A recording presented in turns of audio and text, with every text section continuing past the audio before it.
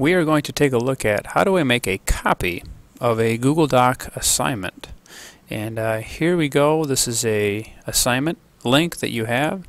Uh, when you click on that, it will open up a tab with the actual uh, handout or the document that you need.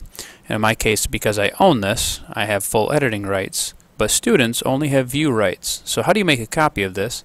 Click on the File tab, and you're going to see right here where it says Make a Copy.